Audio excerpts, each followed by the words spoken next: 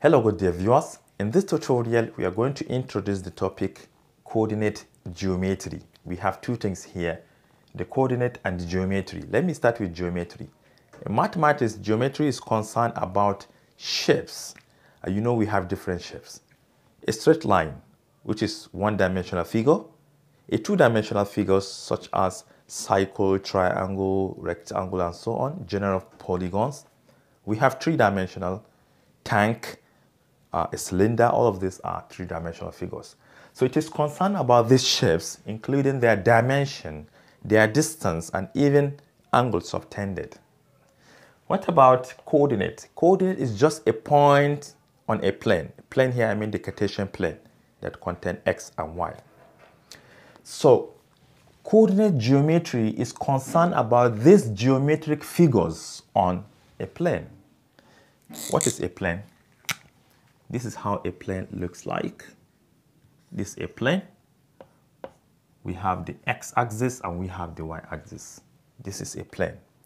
And every point on this plane is called a coordinate.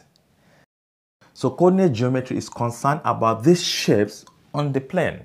We may have a line segment. This is a line segment. This is a line segment.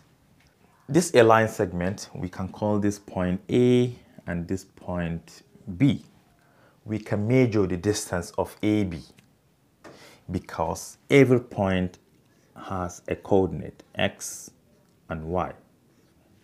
This also x, y. The corresponding value of x at that point together with the corresponding value of y at that point. Likewise the other end. So we can calculate the distance of this line. We can calculate the midpoint. That is the point halfway between A to B. We can calculate the slope. Uh, we may also have other plane figures such as rectangle. I can draw another one like this.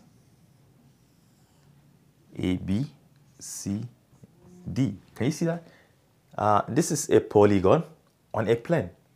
So in general, coordinate geometry is concerned about these shapes on a plane.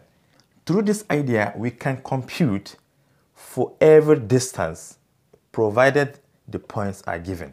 So subsequently, we're going to be talking about uh, these shapes, how to calculate their distance apart from one point to another, how to calculate the midpoint between two points, and how to calculate the slope of any given line, including the equation of that line.